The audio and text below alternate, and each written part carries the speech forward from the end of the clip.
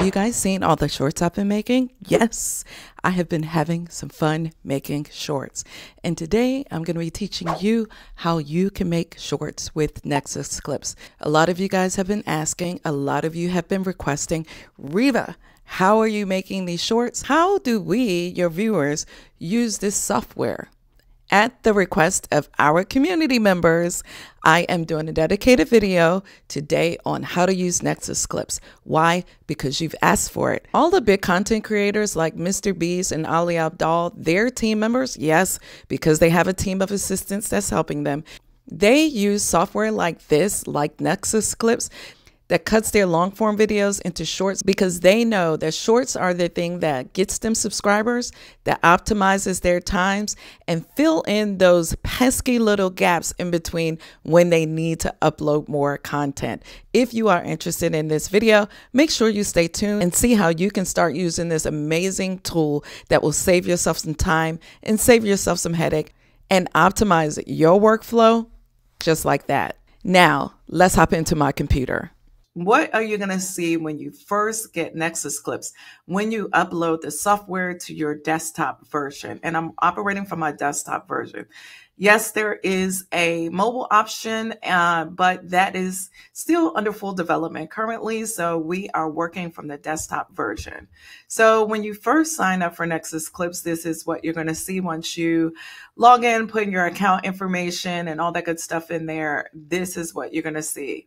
And this is home. You have the option to create clips straight from a long form video. You can upload it here or you can import a clip say you've already made a short of your liking. You can also upload the clip here and edit it from here. However what i generally do because i have it integrated with YouTube, it automatically gets my long form videos each time I upload to YouTube and it sends me an email directly to my email as I showed you before. So you end up getting these notifications stating once you do a long form upload to YouTube that these videos have been uploaded and that you have moments ready for you to choose from. We are going to get into videos to clips.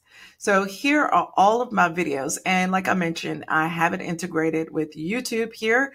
You can see my YouTube channel and I have videos, I have live streams, and you have the opportunity to generate moments here as well. So we are going to stick to videos and not live streams for today we are going to choose this video, the brand video that I did, because they have quite a few viral moments in it. I like that my graphics were really crystal clear on this video. Here are key moments here on the left, and then they coincide with these moments down here. Say you wanted to generate new moments, generate a clip here, I would just select create clip. I can download a clip here that says it's 30 seconds long. I can download it horizontal or I can download it vertical. I can download it vertical just by selecting edit clip and it will go into its processing phase and transform my video from horizontal to vertical. Now it's generating subtitles. I really love this software because it is easy to use.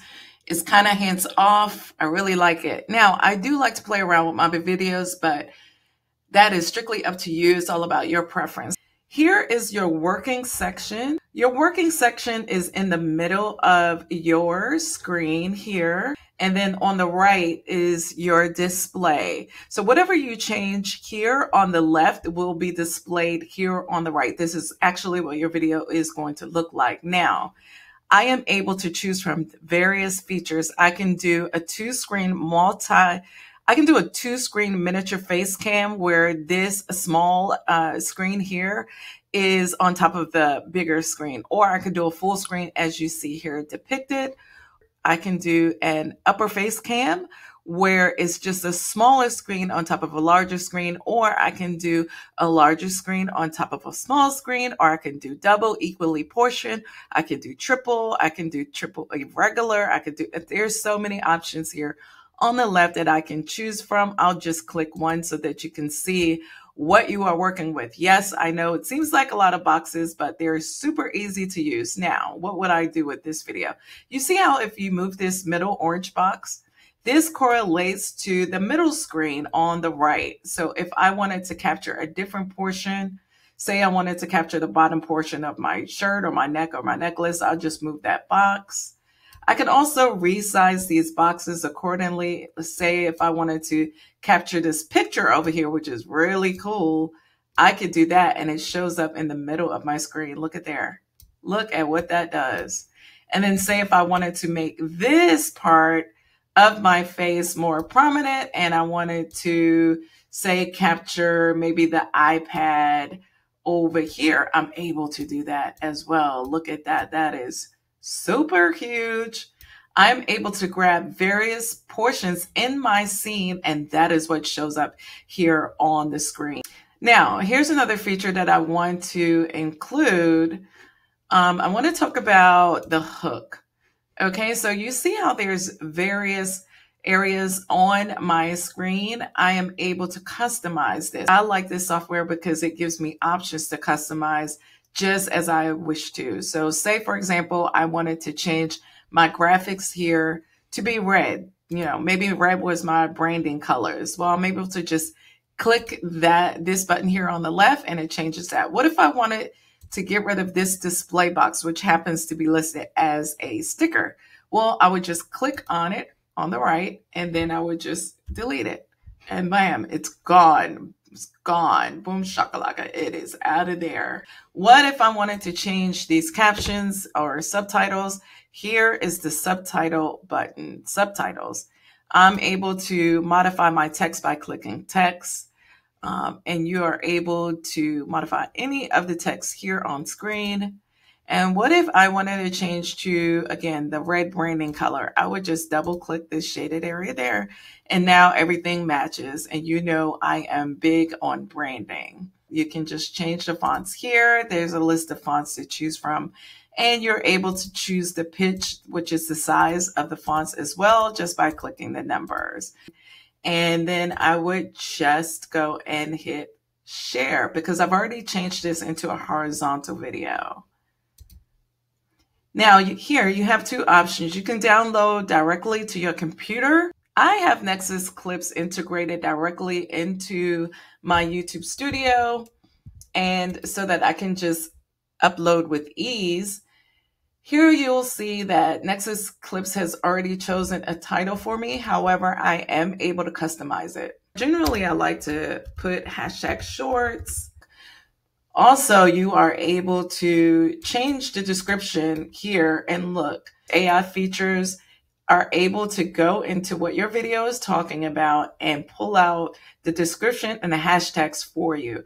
I do like to modify some of these, but it is not required. I am also able to change my settings here if I want to go public, private, or unlisted. I'm able to schedule by clicking program and I could choose a date to when I want to schedule this short. And then from there, I would just hit schedule and then it will show up on your calendar. That is complete. Let's go into our calendar. I have some shorts that I had already scheduled for the month. And this is what it looks like on your content calendar right here in Nexus Clips. So this is the short that I had scheduled.